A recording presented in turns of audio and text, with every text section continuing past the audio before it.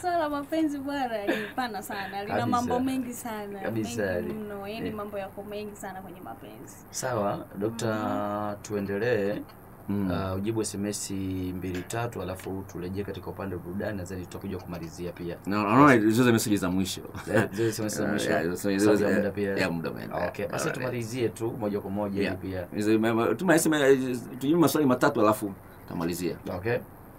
Anasema Jafeti wa Big Bite, swali langu kwa dokta, kuna binti nilizaa naye, yeye anaishi Misungwi, aa, ni kwao, anataka nimuoe. Tatizo nina mke naishi naye, aa, anasema na wote wanajua nikimuoa huyo niliyezaa naye atawagom wata, anasema hawatagombana.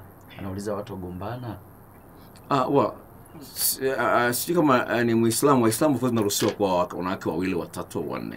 Anaitwa Jafeti huyo. Jafet akatakuwa ni Mkristo. Wa Kuna ni kwamba uh, watagombana iwapo mke wa kwanza hajaridhia wewe kuwa na mke wa pili.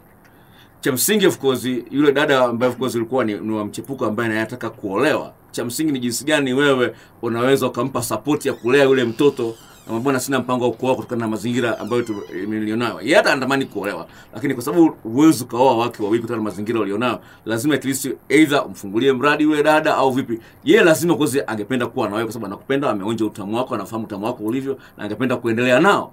Lakini cha msingi ma, mari- mazingira hayaruhusu, lazima umweleze ukweli. Sawa, anajua anaumia, lakini lazima akubaliane na, na ukweli ulivyo. Swali lingine huyu anasema samani dokta, Mm. uh, ni sahihi kumsomesha binti ambaye yuko kwao kwa ahadi ya kuoana naye uh, kuoana baadaye? wa ningependa kuambia wazi kabisa uh, ni jambo uh, la hatari sana la mtu kumsomesha binti ambaye yuko kwao, kwa sababu nazo kesi nyingi za mabinti ambao walisomeshwa baadaye wakaja kabadilika, nyingi, sio moja, nyingi sana. Sasa uh, cha msingi hapo ujione tu kama unacheza kamari, unapata potea jione kama vile unacheza kamari, una uwezo wa kupata au potea. Kwa hiyo sio na, lakini kwa asilimia zaidi ya sabini ni unaweza ukapotea unaweza ukakosa. Kwa hiyo uh, hiyo nakuachia wewe mwenyewe ufanye maamuzi. Sawa, huyu anasema anaitwa Emmanuel, ina miaka ishirini. Anasema dokta, Mm. mimi kuna mtu nampenda na nishawahi kumwambia hisia zangu akakubali, lakini yeye ana mpenzi wake na tunafahamiana na huyu mpenzi wake tunafanya naye kazi sehemu moja. Je, nifanyeje dokta? Ah, wa, kama unachotaka wewe ni burudani tu na sawa, kama unachotaka ni burudani sawa, unaweza ukaendelea naye, lakini kama unataka mtu wa kudumu, basi huyo hata alikuwa hakufai, kwa sababu hana ile asili ya uaminifu. Kama unaweza kumsaidia mpenzi wake aje acheze ngoma kubwa na wewe, unaona ni mtu ambaye anafaa kweli kuwa naye, lazima uwe na mtu ambaye ana msimamo unapo kama kama sawa kama swala la burudani fine, unaweza ukaendelea naye, lakini kama unataka mtu aje kuwa ni wa kuishi naye, afike kwenye mazingira mabaya sana. Okay, huyu mwingine anasema dokta, mimi naitwa Tyson. Anasema hivi, kwani kumpenda mtu mpaka uwe na mahusiano naye ah, ya karibu kama vile ya urafiki, au unaweza tu kukutana naye njiani na ukampenda? Maana mimi nimekutana na mwanamke njiani nikatokea kumpenda, ila alichonijibu yeye uh, hajanipenda ila amenitamani. uh, um, uh, alichon- alichomjibu yeye Mm. anasema uh, uja- uh, ila umenitamani. Mtu unayempenda ni yule ambaye uko karibu naye. Hivi ni kweli dokta? Wow. Uh, tafsiri aliyoitoa ina ina ina ukweli kwa sababu gani? Huyu mtu umekutana naye eh, siku, siku, siku moja, ufahamu kwamba ni mchawi, hufahamu sijui ni mwizi au whatever it is, hujamfahamu tabia zake.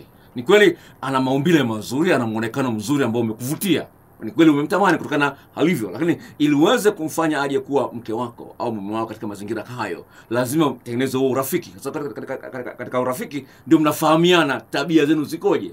Ndio hapo sasa mnatoka kwenye daraja la urafiki, mnaingia kwenye uhusiano wa kimapenzi baada ya kwamba umemsoma, umemkubali mia kwa mia na unaona kwamba uko tayari kumvulia nguo. Kwa hiyo yuko sahihi kusema kwamba umemtamani tu, hujampenda. Kwa hiyo kwa maneno mengine kwamba anakualika uanzishe urafiki na yeye, uangalie kweli itafikia uhusiano wenu wa kirafiki utabadilika kuwa wa mapenzi. Hiyo itachukua muda, kama vile mbegu.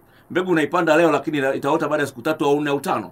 Kwa hiyo lazima of course unapanda mbegu leo umeonana lakini kadri siku zinavyoenda ndio mbegu itaota mpaka inakuja kuwa mmea Dokta, maswali ni mengi kiukweli. naomba swali moja la mwisho basi Maswali ni mengi, ngoja tu uh, kwa huyu bana aweze kumalizia. Anasema naitwa Liche, nina umri wa miaka thelathini na sita. Sema swali langu ni kwamba uh, unapotaka kufanya tendo la ndoa na binti bikira ili usimuumize, una, uh, unapaswa kufanyeje? na naomba usome swali lingine hilo nimeshalijibu Umeshalijibu eh? yeah, yeah. Okay, lakini huyu mwingine anasema dokta, uh, kuna siku nilifanya mapenzi na mwanamke mpaka akachukia.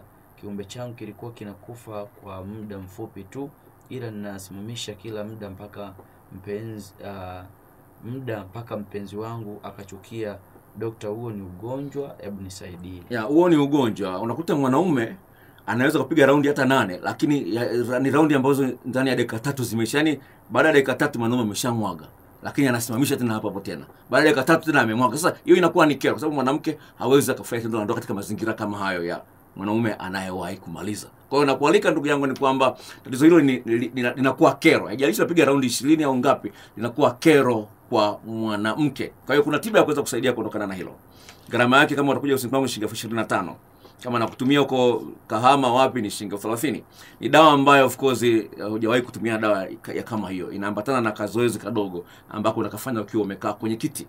Ni dawa ya ungo nafanya kulamba, kwa hiyo inakuja na maelekezo yake, naweza kutumia. Imeshasaidia wengi katika hilo eneo. Kwa hiyo tuwasiliane, na nikipenda nitoe namba zangu za simu kwa wale ambao of course hawana namba zangu za simu. Mimi niko Mwanza, jengo la Nyanza, barabara ya Kenyatta. Jengo la Nyanza liko nyuma ya Benki Kuu ya Tanzania.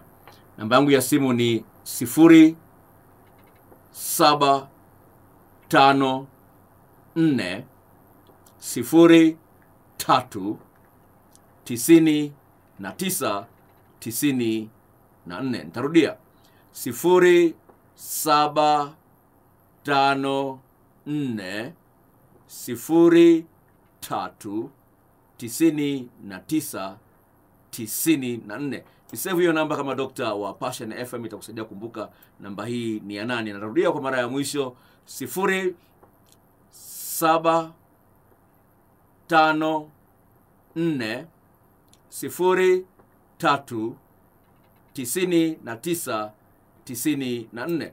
Na kualika vile vile utembelee channel yangu ya youtube ambayo inabeba kwa jina la paul mwaipopo p a u l paul mwaipopo hiyo ndio jina ambalo nabeba channel yangu ya youtube. Na kama umesikiza kipindi hiki ikiwa katikati ya kipindi basi kipindi hiki vile vile nitakiweka kwenye youtube kesho. Unaweza kufuatilia kuanzia mwanzo hadi mwisho wa kipindi hiki. Mungu ibariki passion fm asante msikilizaji kwa kusikiliza redio hii na shukuru kwa ushirikiano wa glory na justin. Niwatakieni usiku mwema. Wow. sisi tunashukuru sana dokta, ingawaje hujatupa neno la mwisho kabisa kwa ajili ya Passion